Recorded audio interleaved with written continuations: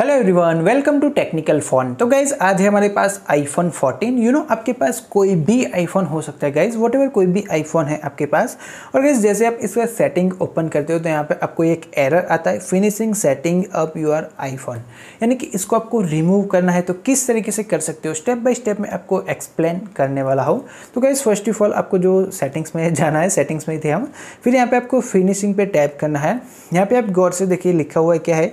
Finishing setup you are iPhone यानी कि यहाँ पे face ID Siri Apple ID वगैरह जो सेटअप करने को बोल रहा है बट हमें वो सेटअप नहीं करना है फ़िलहाल, बाद में भी कर सकते हो और सेटअप ऑलरेडी कर चुके हो, फिर भी है आपको जो ऐसा एरर आता है तो यहाँ पे आपको फिनिशिंग सेटअप पे टैप करना है।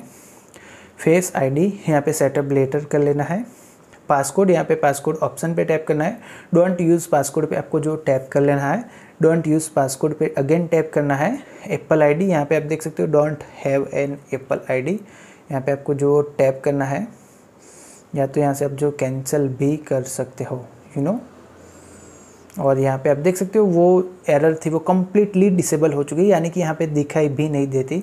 यहाँ पे इवन सेटिंग्स में भी देखते हो तो यहाँ पे जो आपको एक ऑप्शन दिखाई देता है, वो भी हट चुका है।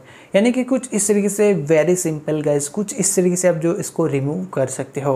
तो एपी गाइज़ की आपको ये वीडियो पसंद आई होगी, अगर आपका कोई भी सुझाव हो तो अपने कमेंट सेक्शन में ज़रूर बताना। एंड अभी तक आपने हमारे चैनल को सब्सक्राइब नहीं किया तो चैनल को सब्सक्राइब भी कर लो, क्योंकि मैं रोज़ाना ऐसे ही वीडियो लेकर आता रहता हूँ। Thanks for watching this video आज के इस वीडियो में इतने दोस्तों। Thank you so so much. Bye bye friends.